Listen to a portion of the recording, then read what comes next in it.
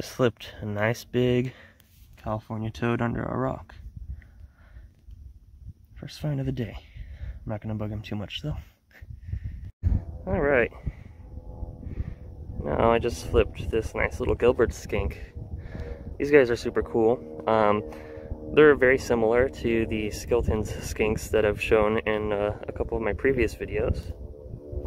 Um, one notable difference, though, as you might be able to tell, is that uh, the juveniles of this species have a nice bright pink tail instead of the blue tail of the Skilton skink. And um, just as in the Skilton skink, the color on the tail will fade as the animal ages. But it's really pretty.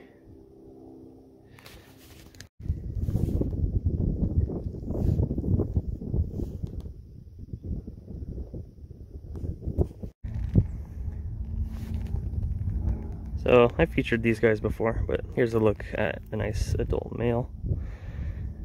Very obvious coloration. This is a western fence lizard, of course. That is a big toad.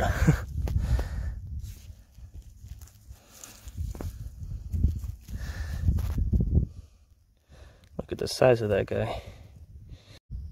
This is just outrageously beautiful. Look at that.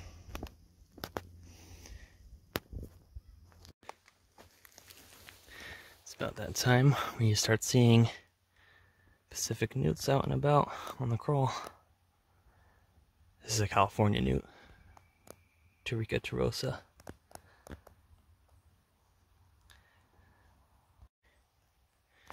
Nice, big, pretty one here. He froze when he saw me. Such beautiful colors. Here's a big female. Seems to be gravid, full of eggs.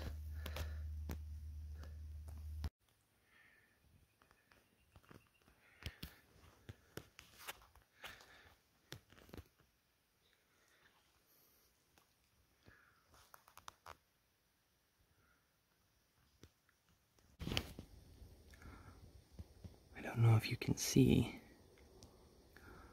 but right in the middle of the screen, there's a pair of Santa Cruz aquatic garter snakes that are mating.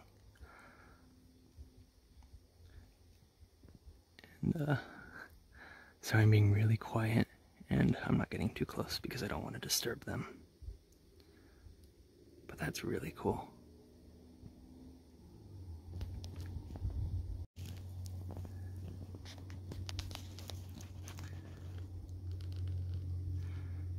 Okay, got a little bit of a better zoom.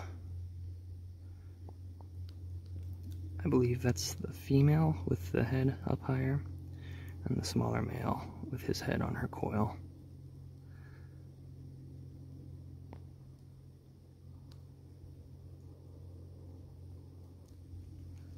What a cool observation. This uh, western fence lizard is really hoping I'm not seeing him right now if uh, he really thought that I saw him, he'd probably run. So, it seems pretty likely this is one of the members of the pair I saw earlier. Nearby where I saw them again.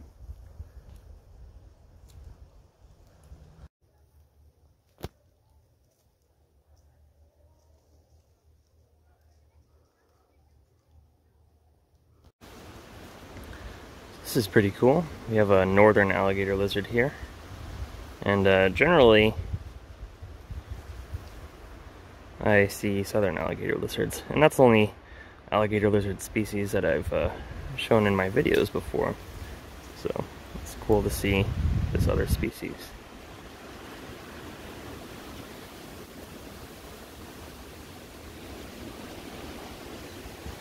And, and release him exactly where he was. So, I'm in uh, Santa Cruz County again, and I just came across this uh, coast garter snake, which is a subspecies of the uh, western terrestrial garter snake, Thamnophis elegans. It can be a little bit difficult to tell apart from the aquatic garter snake, especially when they're smaller like this. Um, we can see the kind of orange flecks on this guy. That's a feature of the coast garter snake. And they have that orange to red coloration in varying degrees.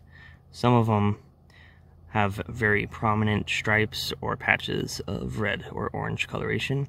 This one, that's not very notable. When they're young like this, it's uh, not very obvious, but um, the upper labial scales, or the scales that line the upper lip, um, they tend to become enlarged towards the, around the eye of the terrestrial garter snake. Um, but that usually becomes more prominent as they age. This is actually my first uh, Thamnophis elegans of the year, so good to see. I'd like to show the release. It's kind of one of the best parts. Uh, really beautiful juvenile Skilton skink basking on the trail here. And bright blue tail is an excellent predator distraction. And uh, these guys do feature the trait called caudal autotomy, which means they can detach their tail and the tail will then writhe on the ground as the nerves continue firing for a while. And the bright coloration um, is a lot more obvious to the predator's eye than the earth-colored skink. Really cool. And here we have a really nice looking uh, coast fence lizard, which is just the local variation of the western fence lizard, Sceloporus occidentalis.